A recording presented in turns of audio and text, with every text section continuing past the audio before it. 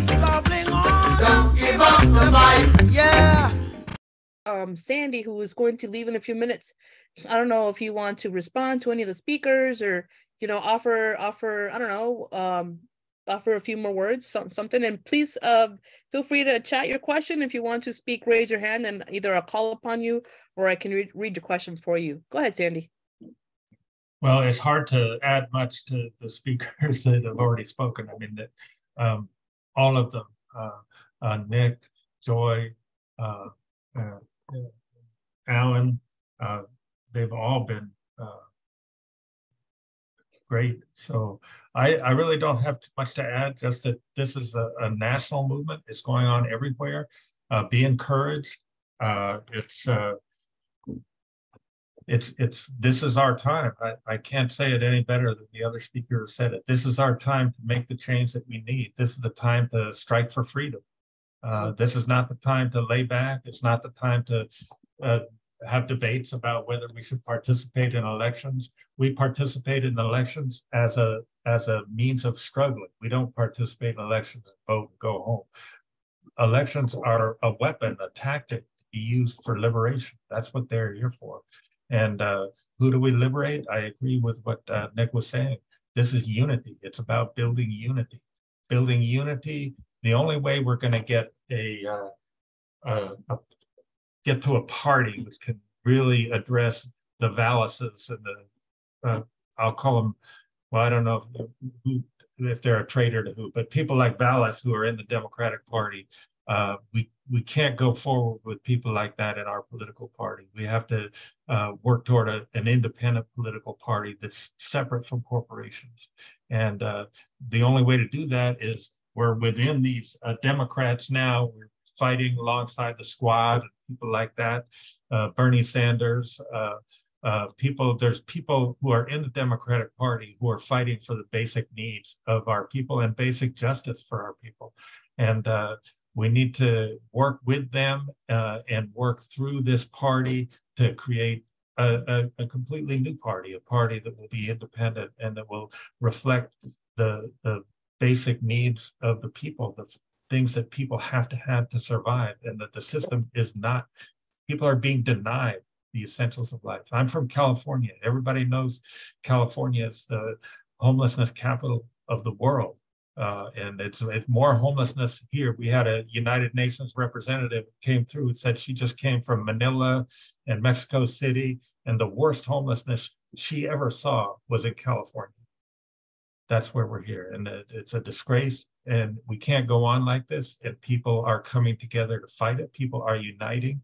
And uh, can't say it better than the other students did. It's a, this is our moment. Right. Agreed. Um, and uh, I also am very privileged and honored um, to to uh, trying to help organize. And it's not a hassle. Uh, you know, admittedly, I'm not the best organizer. I'm an educator. I'm a, a speaker.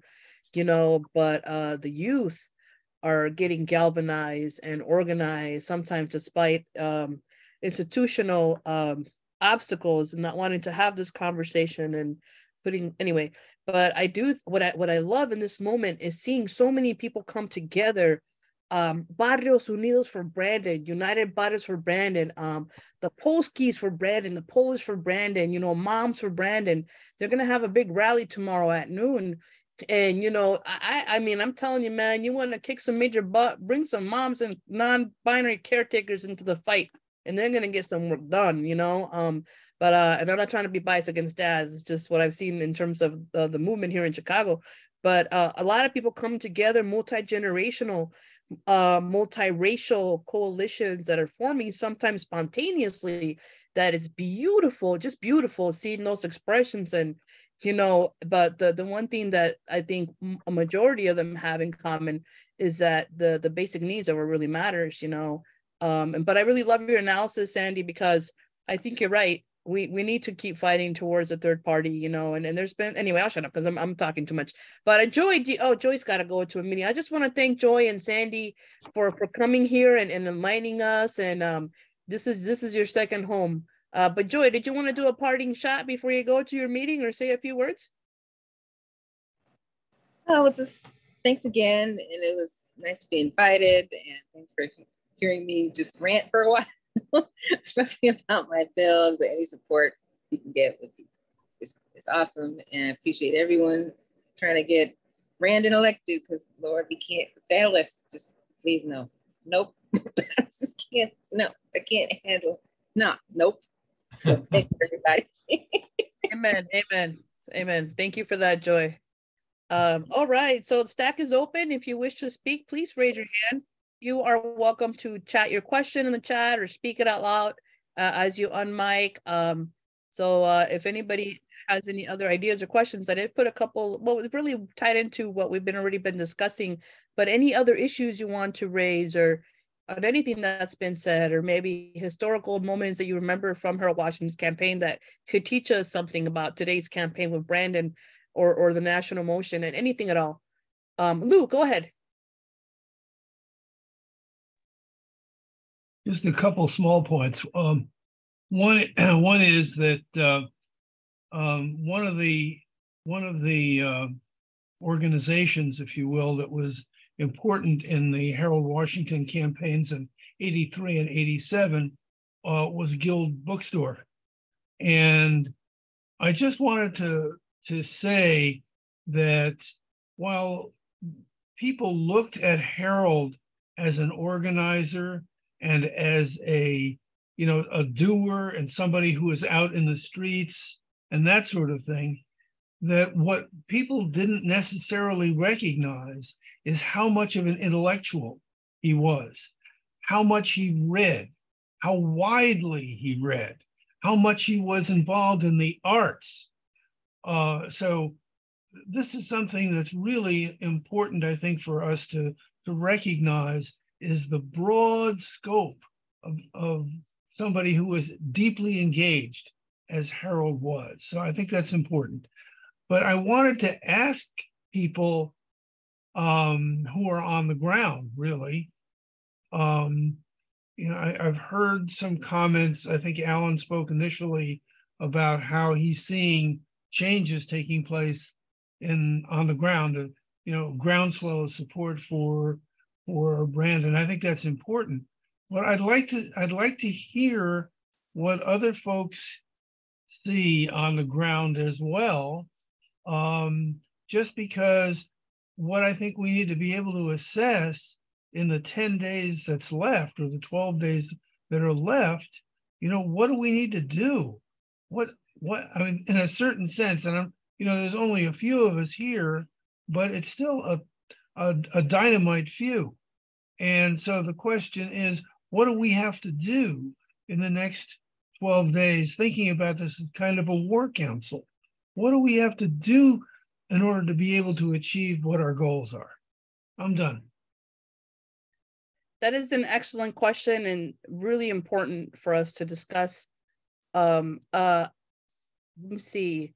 Uh, Risa, I hope I didn't put your name. I see you. I'm going to put some resources that are avail- available. Um, Risa says she needs texters, not just for Brandon, but for these incumbents that are fighting machine or FOP candidates.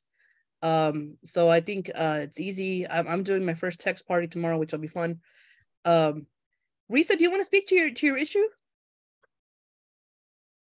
Uh, yes, I'm happy to. I'm I'm happy to support however I can. Um, usually, there's not a, a, need for a lot of texters because more people are willing to text than they are to phone banks. So I've gotten on a lot of phone banks, but my experience has been I spend a lot of time just listening to ringing and not talking to anybody, and that gets very wearing.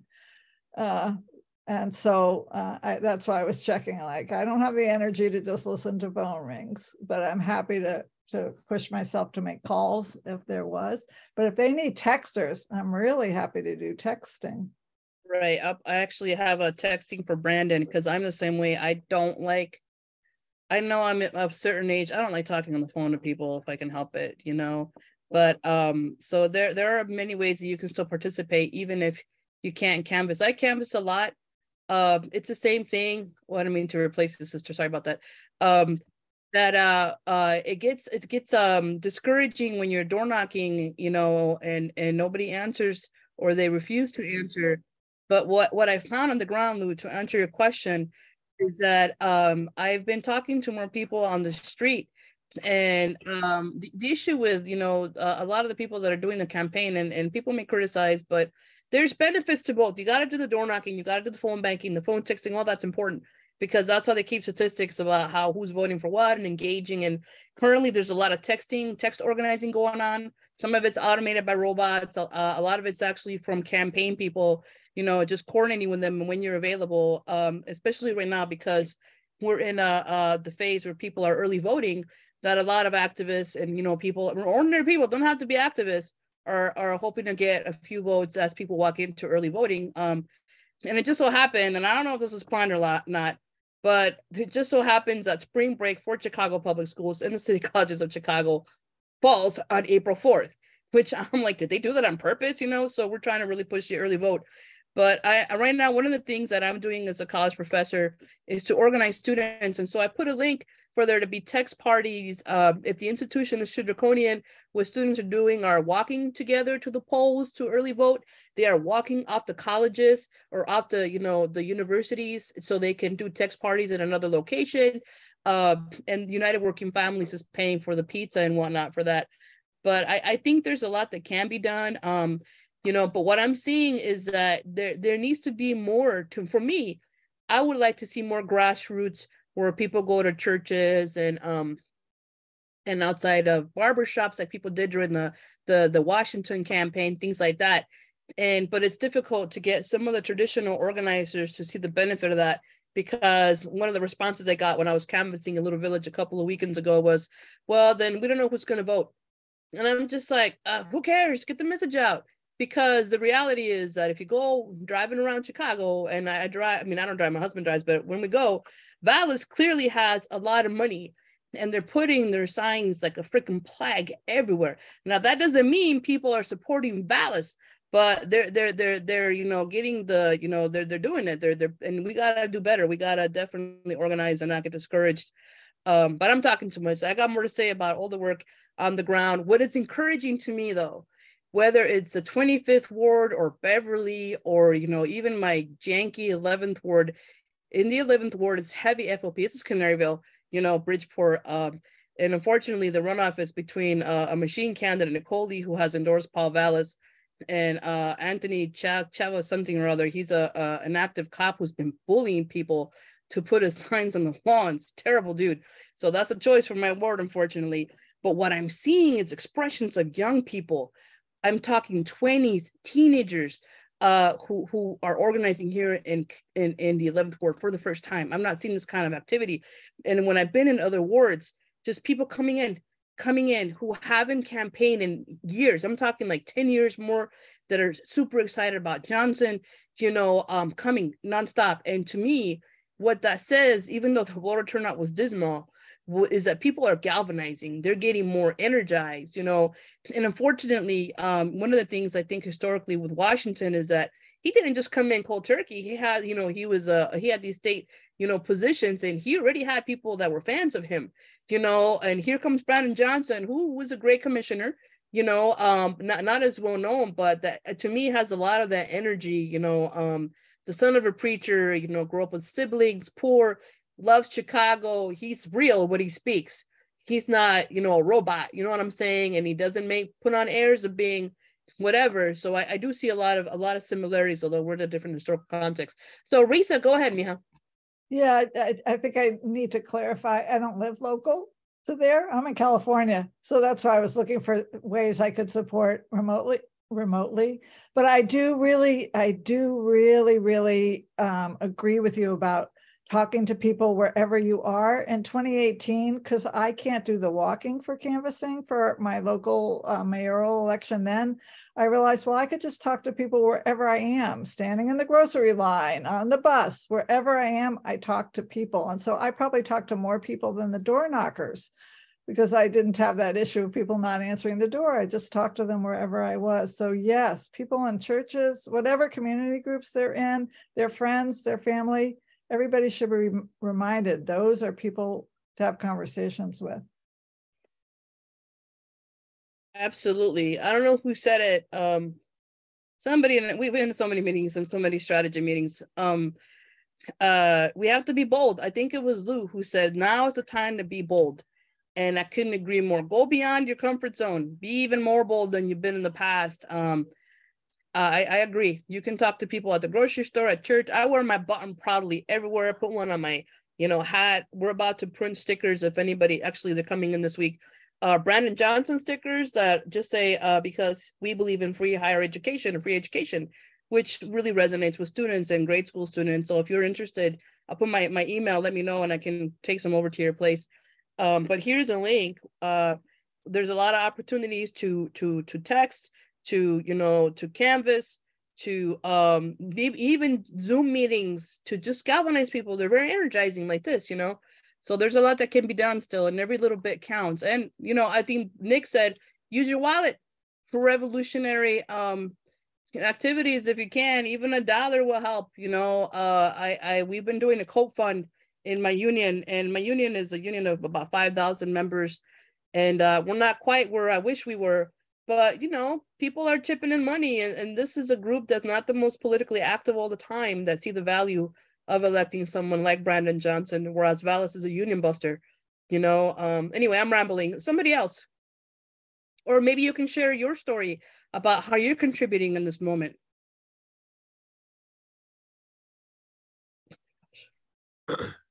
I'll just real quickly say i wanted to echo something you just said giving uh, your wallet. Uh, there's a quote by Kwame Ture, uh, formerly Stokely Carmichael, who like coined like the Black Power fist and you know Black Power, and it, it was really helpful to that movement in the 60s and 70s. And he said that no matter what we do for the revolution, no matter what we do for liberation, it's all important. It all matters, and we have to do it at our own capacity, and that we shouldn't be trying to measure what we're doing. He had a quote. He said, "Some may give a dollar, some may put up their whole house." Some may go to jail, some may go to prison for life.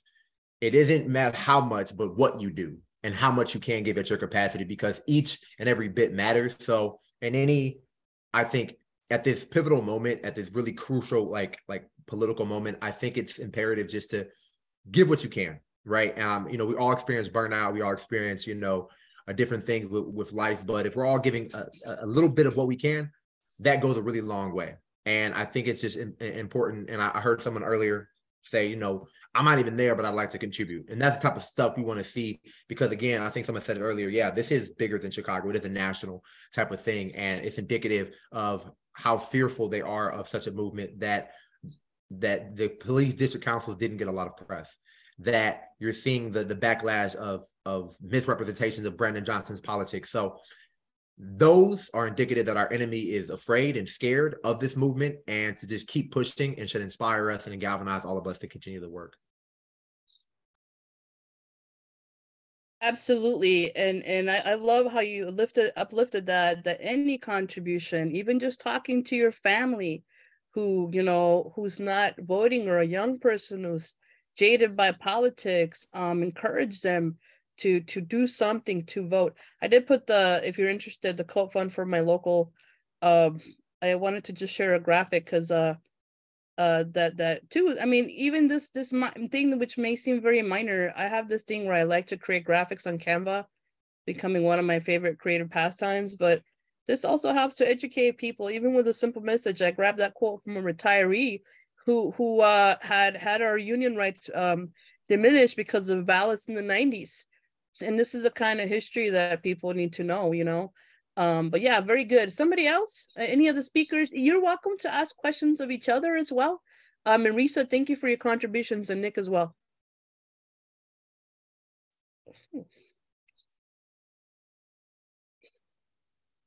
Go ahead uh uh Yolanda go ahead and unmute sister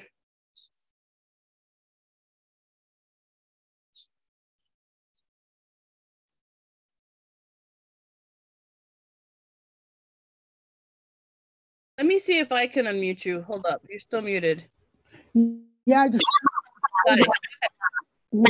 can you hear me? Can you hear me? Yeah, when I try to share some of the posts of the YouTube about the elections from last month, uh, Facebook won't share it. So sometimes they share Jesus posts about the, this um, they assume sometimes they don't.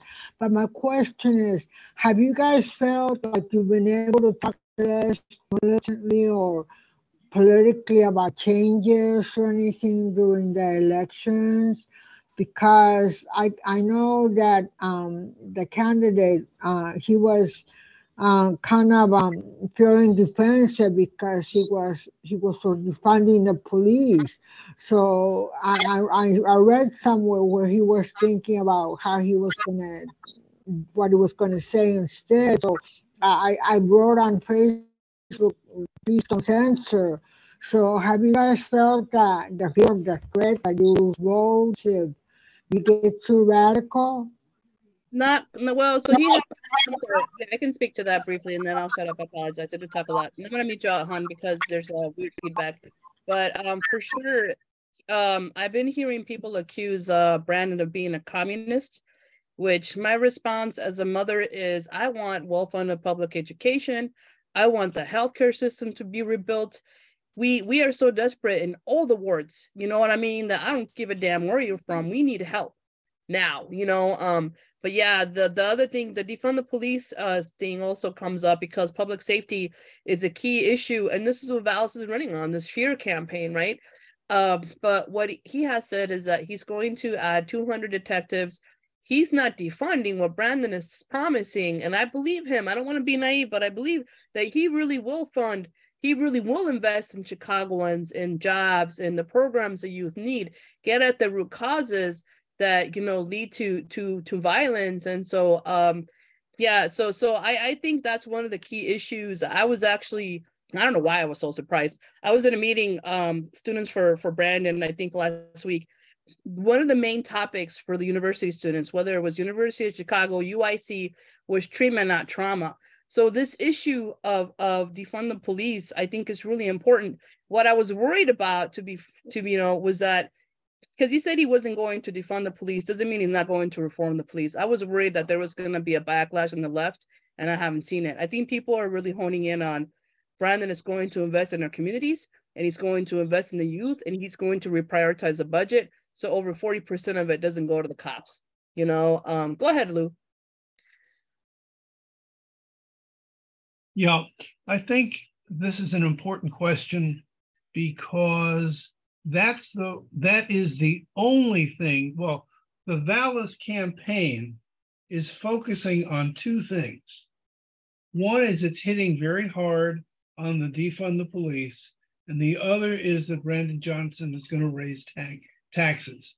Those are their two things that they say over and over and over again. And what are they doing when they're saying those things?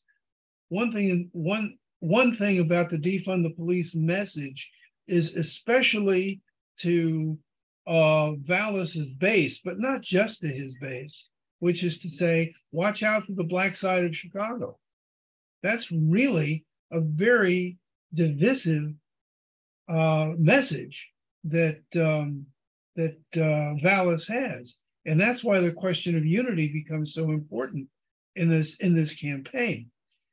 Um, I think that the the significance of the uh, the of the Johnson campaign is not so much is he going to defund the police, but is he going to divert funding, which is now going to people who do not solve crimes and do not keep us safe to things like mental health clinics, to things like social workers, to things like housing, to things like education and food. That's what the real question is. Are we going to solve the basic needs of the people of the city of Chicago?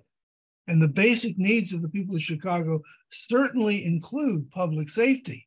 But public safety has to be understood to be much more much deeper, much much broader question than than whether or not you're going to put money into the police departments and what do the police do anyway. So th- that I think is is kind of important. Um, the other thing that I want to say about the question of public safety is that Vallas is, of course, courting uh, all kinds of support from the Fraternal Order of the Police. Now, what is the Fraternal Order of the Police except the defenders of the people who shot Laquan McDonald? Now, are those the people that we want in, in uh, City Hall?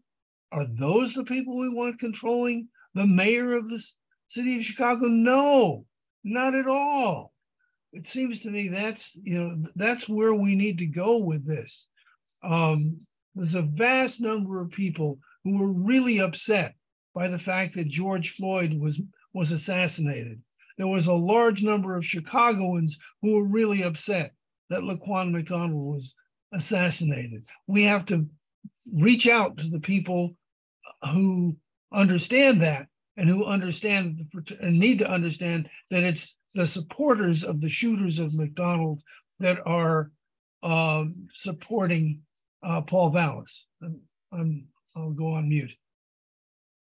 Yeah, um, I get annoyed, and this, uh, and it's a, a former, well, this this uh, allegation I get from retired cops that Brandon is going to send social workers into dangerous situations and they're going to get killed. And I'm like, who is spreading this BS rumor? First of all, they have protocols. They can't just send social workers to dangerous situations. Just like, I'm sorry, if cops see that there's danger, they're not going to go in, right? And this is one of the things that, um, you know, we we I'm, I'm, anyway. So so that's it's just spreading fear again and and um it's just ridiculous but i i, I love what lou said because he's right on point um anybody else somebody who hasn't had a, ch- a chance to speak chris a comrade i don't know if you want to say something you're a resident historian or or other members who are here present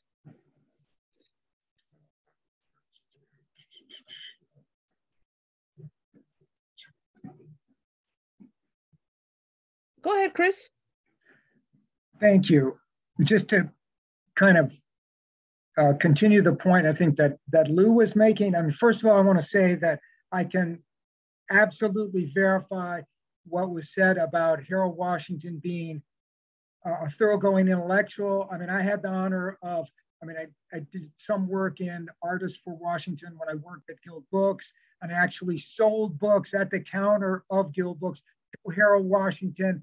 And he waited in line like anybody else and ended up having a hearing Fred Fine, who was the um, cultural commissioner, talk about Washington and the fact that he was known for the fact that he collected novels set in Chicago. But I mean, he really had a vision of the city that was very much a, a progressive, uh, you know, continuing the New Deal era uh, vision for the for the city. Um, and it seems to me that the, I mean, the thing that's so striking to me about this election campaign, the city is, as Alan said at the beginning, in many ways very different from what it was in, in 1983. I mean, there's been this vast deindustrialization and, and the situation is really is different. But the thing that that's eerily similar in the way that the election campaign is unfolding is that there's this clear, clear choice between someone who comes out, between a teacher and basically somebody who's privatized the public schools, between somebody whose support is the worst elements of the police department and, and, and someone who's part of this whole movement to demand police accountability.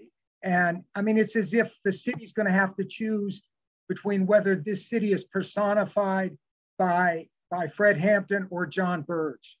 I mean, that's to me, I mean, it's not just an election, it's like a moral choice about what symbolizes this symbolizes the city. What is Chicago as a city?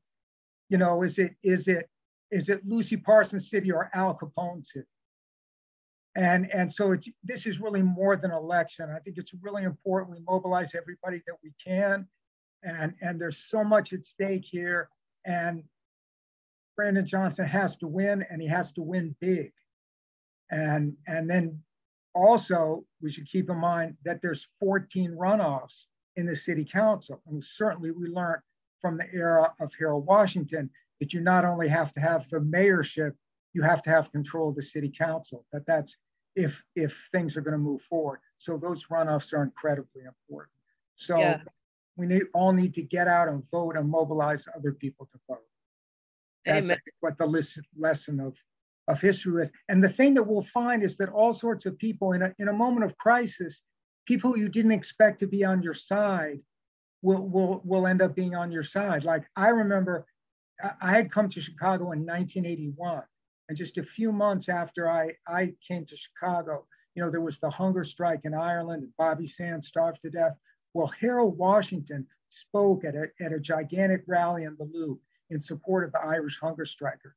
And when he won the Democratic nomination, fair and square, and he beat Richie Daley and Jane Byrne, you know, two Irish American uh, political hacks. Well, there were people in the Irish American community who remembered, and they said, you know, some people just went. I mean, there was a horrible incident at the St. Patrick's Day parade where the worst, most racist elements of the Irish community said, Epton, Epton, he's our man. We don't want no African. But there were also forces, and I know this for a fact, in the Irish community who formed Irish for Washington. And they said, because you see, part of it was that Bernard Epton's wife was actually an auxiliary mem- member of the British Army Reserve. And they said, we are not going to vote against somebody who, who tried to save the lives of the hunger strikers for somebody who's literally in, in bed with the British Army. That ain't happening. And this included some very influential people in the Irish community, one of whom had a, had a nephew in the Long Kesh prison where Bobby Sands starved to death. So you will find in a moment of crisis that you will get unexpected allies, and we need every ally that we can get, every supporter that we can get, and let's go out and get them. Here, here, brother. That is a beautiful note to end on. Um, I love it. And I, I, I point this out too. Paul Vallas has absolutely no electoral experience at all. Think about that for a moment. Let that rest with you. I mean, what this fool is not even qualified to run for mayor.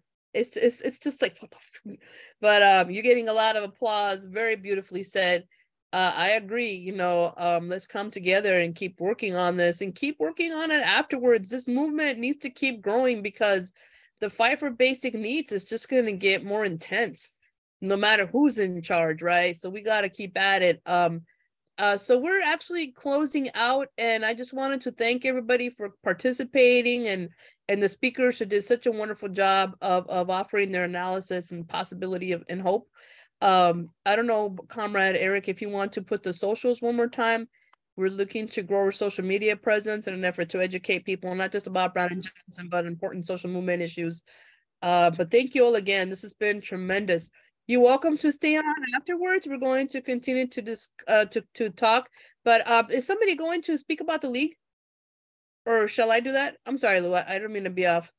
It's Uh, me. It's me. Oh, brother. Take it away. Well, I first of all want to tell everybody um, that this uh, event has been brought to you by the League of Revolutionaries for New America, um, the League for short. And on April 29th, th- this committee, the committee's been putting this on, um, will host a wrap-up meeting to assess the results of the election and to process our next steps. So we invite everybody to return at that time. We'll have a, another link up uh, another invitation. You should all be getting that uh, just to understand and to consider how we keep a movement in place regardless of the outcome. Obviously, we don't know what the outcome is going to be. We hope Brandon Johnson will win. We know that even the, under the best of circumstances, um, the um, the people that we want to be elected need a strong movement in order to be able to continue to do what they promised to do. So it's really important for us to be continuing our work again, regardless of who uh, who wins, and we'll we will be considering that on April 29th. Um, I kind of want to end with with uh, bef- before I tell you a little bit more about the league. I kind of want to end since we've talked somewhat about the arts and Harold Washington. I want to end with a little statement. This is coming from a book written by his press secretary, Alton Miller, called uh, Harold Washington, the Mayor, the Man. And in it, he quotes from a, a speech of Harold's uh, when he was um, when he sought out the unveiling of a statue, a sculpture, to talk about culture. And what he said was, you know, there must be something in the air in this part of the country that stimulates the creative spirit. How else can you explain the remarkable number of writers and painters and sculptors and actors and dancers and poets and musicians who have created for Chicago such a worldwide reputation for excellence in the arts? There's a new feeling across the city, a sense of a new spirit of Chicago, a sense of purpose for our creative energies. And I think we begin to see that in some of the the, the battles that we're seeing today. There's beauty in the landscape itself, and there's beauty in our people, a multiracial, multi-ethnic mix of red, yellow, black, and white, the cream of the crop from America's heartland and from every corner of the world, working together to keep Chicago smiling and productive. You don't judge a city by how much money it makes. When people praise Paris and Rome, they're not talking about industrial output. When all the money's spent and all the shouting's done, it's the soul of a city that you look to to find its true value. The new spirit of Chicago requires fairness and, and freedom, but it also takes the artists to celebrate it. And so I want to say I want to shout out to the artists for for Brandon Johnson that are out and about um, creating that Chicago. Um, the other thing I want to I want to mention a couple other things. The Revolutionary Education Committee of uh, the League will be hosting a dialogue soon called "How Do We Imagine Our Future." That will be on April 14th, so you should uh, mark that in your calendar We'll be letting you know about that as well. Uh, we in the league have been around for almost 30 years. We come from all walks of life. What the league brings to the table is a treasury of strategic thinking based in a storehouse of centuries of revolutionary activity that existed long before we did. We aim to connect with and become part of that ongoing movement for the basic needs of the people. That's an ongoing movement. We we call on anybody who wants to join the lead to let us know. Read our paper, The Rally Comrades. You'll see links to all of this stuff in the chat. Uh, we hope that you will come back again and again. You can contact us through the league website. And uh, we thank you, all the participants from who've been here. We thank the magnificent tech team who's kept this thing rolling the way it needs to keep rolling. And uh, those who want to stay on and just kind of converse, we'll be keeping the Zoom room open for um, some more minutes, maybe another 20 minutes. But anybody, we want to respect people's time. Those people who have to leave, we thank you for being here. All right. Thank you, Lou. Thank you once again, everybody. And thank you for your generous contributions. Thank you so much. And hopefully we'll see you next time. Get up, stand up, keep us on. Don't give up the fight. Yeah.